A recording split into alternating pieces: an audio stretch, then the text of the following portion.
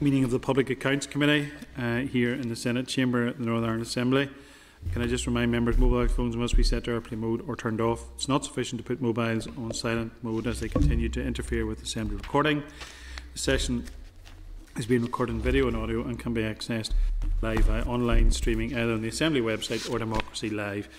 Uh, agenda item 1 is apologies. Have we any apologies this afternoon? No.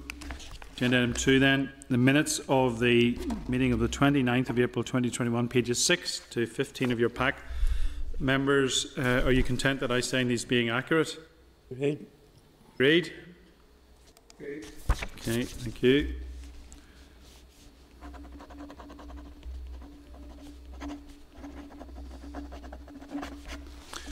Okay, members, um, any issues or matters arising from the minutes? Good.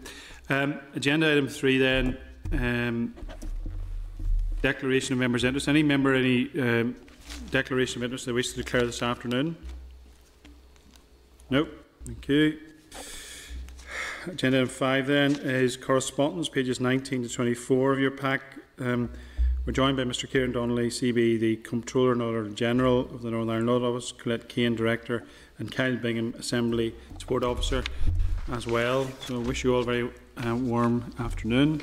And members are referred to for correspondence dated the 27th of April 2021, pages 19 to 22 of your pack from Trevor McKee regarding the decision of the Charity Tribunal for Northern Ireland agreeing to a hearing on this matter. Mr McKee has also copied this correspondence to Northern Ireland Audit Office Committee and Committee for Communities. Are members content to note? Agreed. Agreed? Agreed. Thank you. Um, members, following on from Mr McKee's previous correspondence regarding the Charity Tribunal in your pack, pages 23 and 24, dated the 30th of April 2021, there is a letter from Nicole Lappin, uh, Chief Charity Commissioner, CCNI, clarifying the Commission's position on this matter. Do any members have any comments? Mr Donnelly, have you any comments? Chair. So, yes? Uh, uh, uh, being chair of Nice Cullen Jericho, which is also a registered charity, I probably should declare an interest. Right, okay. Do you, do you get a note of that? Okay. Um, sorry, Mr Donnelly, anything you want to say around that? Uh, I want to say that no, there's some interesting points raised by Mr McKee in terms of the wider implications of the original court ruling. Um, and I suppose his main point is that um, it has implications for lots of other cases. And uh, would it not be sensible then for the Commission to stand down those rulings rather than fight more legal challenges? So uh, I, I don't have a view on the rights and wrongs of that. That's just the, the, Hmm. the, Okay. the, the line he's advancing. Members content, content to note? Agreed? Okay, members, I refer to correspondence dated the 4th of May 2021 in your table pack, page 7, from Mike Brennan, the Accounting Officer and Permanent Secretary Department Economy, regarding administration costs of COVID disruption payment scheme. Mr Brennan has outlined that 10% allocated to cover any transaction fees incurred per statement, sorry, per student in administering the COVID disruption payment is a nominal cost. The department has uh, the right to claim back from the universities um, whatever element of those notional administration costs is appropriate once an assessment of the actual costs of each university has been carried out based on the audited information. Are members content to note? Agreed? Ten. Okay. Agreed. Okay, members, we will remain in open session to consider uh, ministerial direction. Uh, and agenda item six then is ministerial directions, pages 8 to 99 of your pack. Mr Kieran Donnelly, the Auditor General, Ms Colette Kane, Mr Bingham will remain with us for the meeting. Members, we have three ministerial directions to consider today, of which two are historical. Uh, that is, the schemes are now closed. I believe that the Comptroller and Auditor General is looking into the reasons why there have been a delay in a number of ministerial directions coming to the committee from the Department of the Economy. Uh, Mr Donnelly, at this stage, anything you want, to add to that? Any comment to make? Uh, yeah, two, of those today um, go back to, I suppose, late last year. Um, in one of the cases, the department uh, thinks they did send us it. Uh, we have no record. In the other case, um, no, the, they acknowledged there was nothing sent. That's the wet pubs case. Okay. Yeah. Uh, and the other was a COVID extension. Uh, so we're looking into all of that to see what, what we can learn from it. Okay. Members, I su- suggest that, um, with your permission and agreement, we ask Mike Brennan to the committee to answer these questions regarding the delay in forwarding um, ministerial directions and also will give us the opportunity to ask on further questions in the uh, inquiry generating electricity and renewable energy following our last evidence session. And I also think it would be timely to ask him um, some questions around the current position vis-a-vis the York Street campus of the Ulster University, which we'd agreed to do anyway. So would members agree that we we kill three birds with the one stone, as, as it were, there? Is that metaphorically, of course? Th- Is that everyone agreed? agreed? Yeah. Yep, okay, thank you. um, members, I also have a response from the Audit Office regarding a query last week raised by Mr O'Toole on the Department of Finance ministerial direction and additional financial assistance scheme to make use of the remaining 2020-21 COVID-19 funding. Mr O'Toole inquired if the 177.9 million expenditure relating to three schemes covered by this direction was uh, the highest amount covered by a single COVID-related ministerial direction to date. Um, I think, Mr Bingham, uh, you have a response to that, is that right? Uh, yes, Chair, thank you. Um, we've checked our records and I can confirm that the direction had the ha- second highest cover of all the COVID related ministerial directions that uh, we've been notified to date. So the- the first COVID related ministerial direction from DFE was the 10k business support grant scheme. Um, and that provided the largest amount of cover. Uh, that was 294 million. Okay, Um, is that okay, Okay. Mr O'Toole? You can test Okay, that? thank you. Yeah. Yes, I am. Thank you. Thank you very much. Um, any other members, any comment they want to make on that or content? Content? Um, okay, we'll now go into the detail of the ministerial directions. Um, one ministerial direction, the uh, recognition payment for the supporting people and homelessness sector frontline staff. Members, I refer to correspondence dated 26th of April, pages 26 27 of your pack from Mr Donnelly regarding ministerial direction recognition payment for supporting people and homelessness sector frontline staff.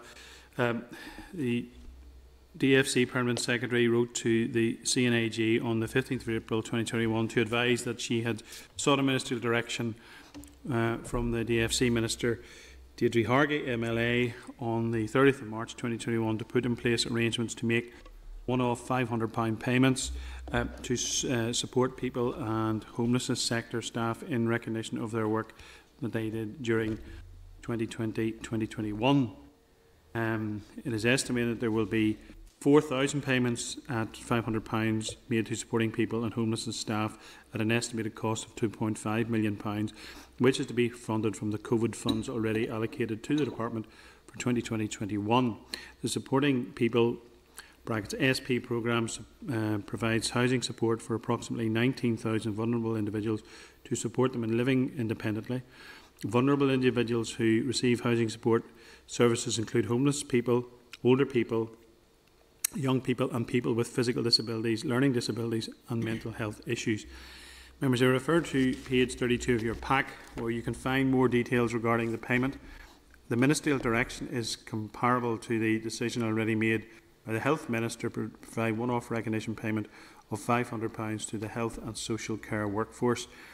Um, the reason for the uh, ministerial directive is that while the permanent secretary had indicated there was a political support for this pro- project, it does not uh, represent value for money as required by the MPMNI.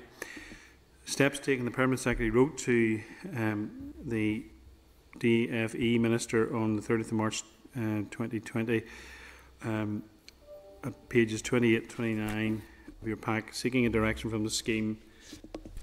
So, that may have been may, maybe a typo. It was maybe 30th of March 2021 there, uh, pages 28 29 of your pack, seeking direction the scheme, and the minister subsequently wrote to the Minister of Finance, page 31 of your pack. This was the appropriate route as the executive approval was not considered as the scheme was not thought to be cross-cutting nor have any wider repercussive risks.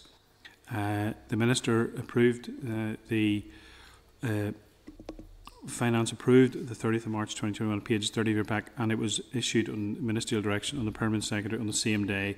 The relevant papers are uh, referenced above and underpin the decision of the cost of the MD of 2.5 million pounds. Um, members, the C&AG will keep this matter in view uh, as the audit of the 2020-21 financial statement progresses. Mr. Donnelly, have you any comment you want to make? I think you've said it all, Chair. Uh, that one is relatively straightforward, so nothing Yeah, really to okay. add. Mm. Any members, any comments, and you can content to note? Content. Content, thank you. Ministerial Directive then two is COVID Restrictions Business Support Scheme, brackets CRB SS, close brackets, pages 9 to 64 of your table pack. I've received correspondence uh, dated the 4th of May 2021, uh, pages 9 to 11 of your pack from Mr Donnelly regarding ministerial direction from the DFE Minister Diane Dodds, MLA, on the 20th of October 2020 to implement a scheme to provide support to local businesses and address the gaps in the DOF uh, Local Restriction Support Scheme, brackets LRSS. Background on the 14th of October 2020, the Executive agreed a range of significant time-bound interventions to curb the spread of COVID-19 in Northern Ireland. The measures came into effect on the 16th of October for a period of four weeks. The Executive subsequently agreed to expand the Department of Finance-led localised restrictions support scheme to all of Northern Ireland. Under uh, LRSS, which is now closed, financial support was provided to certain businesses which had been uh, required to close or severely limit operations at their premises under the health protection regulations that were in place by the Northern Ireland Executive, subject to some exclusions. However, the scheme did not provide help to businesses that were found to close but um, do not pay business rates. For example, hairdressers renting a, chain, a chair in a salon, and driving instructors and mobile beauticians.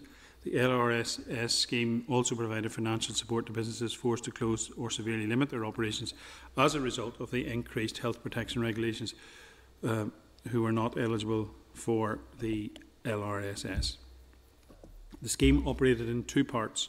Part A, businesses that are named in health protection regulations but are not eligible for the LRSS, and Part B, businesses that are not named in the health protection regulations but which applies good uh, goods or services to such a uh, businesses or reliant upon such a business being open and fully operational in order to trade. The scheme provides a grant of up to £800 per week for eligible businesses on the provision of specific information and assurances. The Department of the Economy has indicated that this scheme will fit within the funding envelope being uh, centrally to provide financial support for businesses impacted by COVID and should not exceed £40 million. Members, the absence of the evidence on which to base the value for money uh, assessment, coupled with the level of risk attached to the delivery proposal, meant that the Permanent Secretary could not provide the necessary assurances that the delivery of the scheme represented value for money as required by Department of Finance Managing Public Money NI brackets MPMNI guidance. Members, I refer to the relevant papers underpinning these decisions at pages 12 to 64 of your pack. Um, the, the Comptroller and Auditor General states that the Department provided an email indicating that they had sent the notification to him on the 4th of November 2020, but the C&AG does not have a record of receiving this email, which is now currently being investigated. The C&AG will keep this matter in view as the audit of the 2020-21 financial uh, statements progresses. Mr Donnelly, have you anything you want to add to that?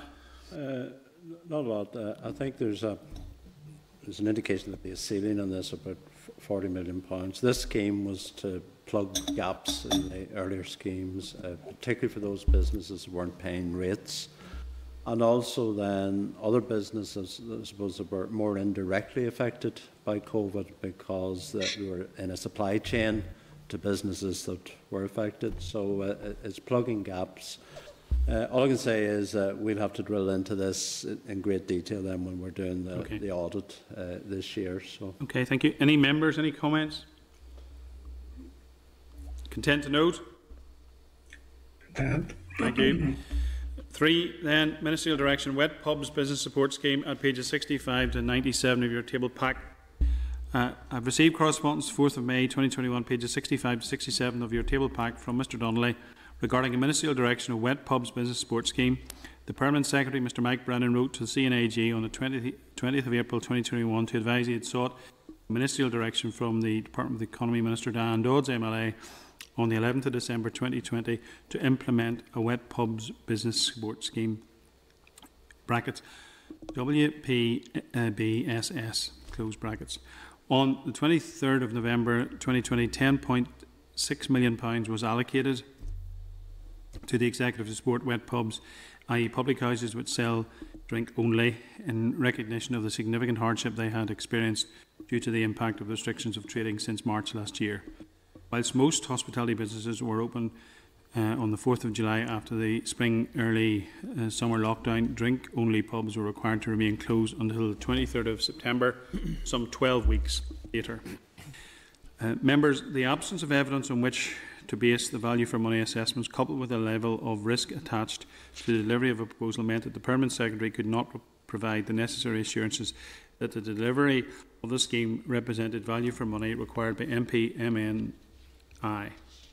Members, the Comptroller and Auditor General noted in the delay of the Department communicating the details to him and hence the delay in his correspondence to the Committee. The C&AG is currently in discussion on what caused the delay with the Department and expect them to provide an update and confirm what actions they have taken to ensure this will not happen again. Members, I refer to relevant, pa- relevant papers underpinning these decisions at pages 65 through to 98 of your pack. Um, the C&AG will keep this matter in his view, uh, view and the audit in the 2020-2021 financial statement progresses. Mr Donnelly, have you any comments to make on this one? Uh, this one's a bit more complicated, because actually defining what's a wet pub, because some pubs were open for, you know, food and whatever, so drawing lines is, is going to be quite, quite difficult. Uh, but, um, so we'll look at that one in detail as well during the audit. Okay, any members, any comments? You content to note? Agreed.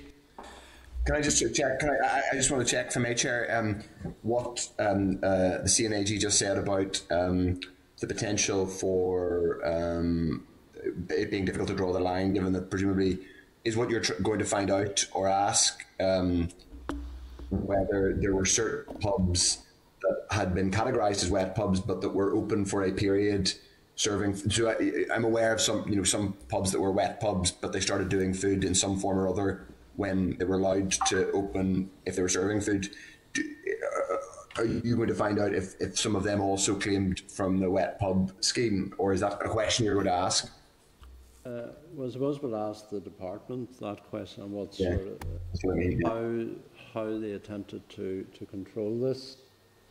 Yeah. It is quite difficult, I think, to draw boundaries here, and um, so that, that's one of, probably one of the reasons there's a direct, a direction was sought in the first place. Okay, okay, members content?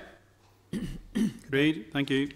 Um, members, then, with your permission, we'll go into closed session for consideration of our report, Inquiry into Drive and Vehicle Agency, 2019-2020.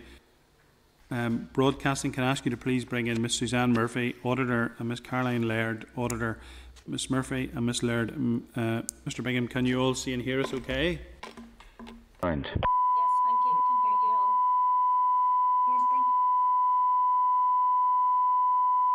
thank you. This is the Northern Ireland Assembly Senate Chamber Programme Sound. This is the Northern Ireland Assembly Senate Chamber Programme